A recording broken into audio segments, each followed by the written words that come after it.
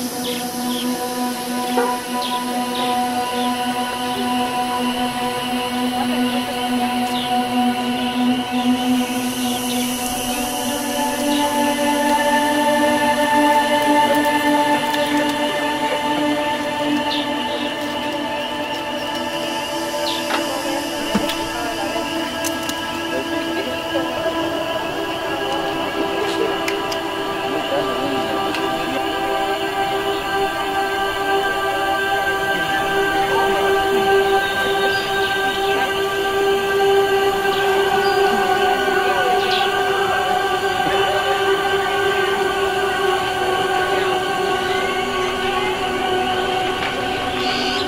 Domingo de Ramos en Nahuizalco.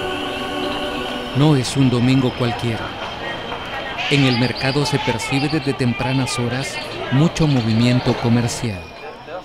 El aroma de coyol o flor de corozo es agradablemente intenso. Muchos ramos preparados con palma y flor de corozo son ofertados a todos los parroquianos que convergen en el mercado. Los comerciantes procedentes de todos los cantones de Nahuizalco viajaron con su cargamento distancias muy considerables. Ya instalados en el lugar, esperan obtener algunas ganancias muy merecidas por su tan digno trabajo. ¿Y el coyol de dónde lo traen? Bueno, nosotros lo traemos de aquí, de la parte de la zona costera. Desde aquí por la libertad la hemos este, ido a traer.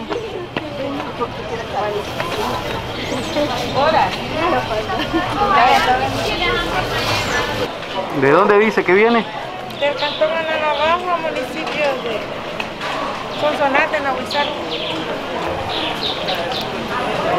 ¿Y a qué hora salieron del cantón para llegar acá? Bueno, yo salí a las 5 de la mañana. Porque la misa comienza a las 6 un poco. Entonces la gente compra sus palmitas para entrar a la misa. Y luego para la procesión. Luego sale para la procesión y, y allá, allá bendicen las palmas y, y se viene con la procesión otra vez a la iglesia. Algunos arreglos son más artísticos, pues los decoran con florecitas naturales o de papel multicolor.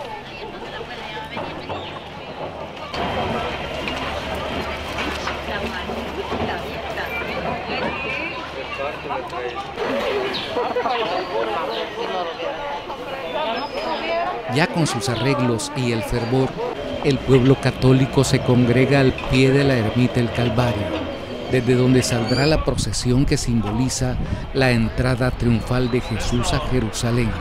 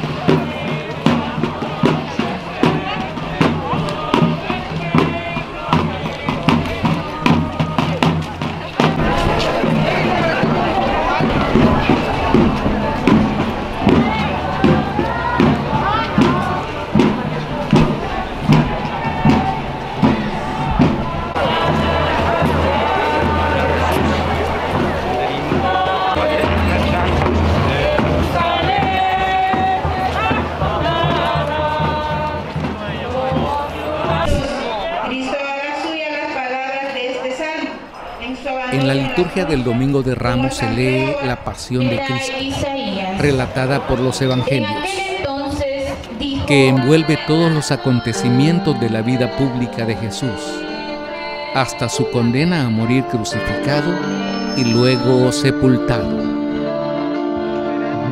Así, hecho uno de ellos, todos lo abandonaron y huyeron. Lo iba siguiendo un muchacho envuelto, nada una sábana y lo detuvieron. Pero él soltó la sábana y se les escapó desnudo.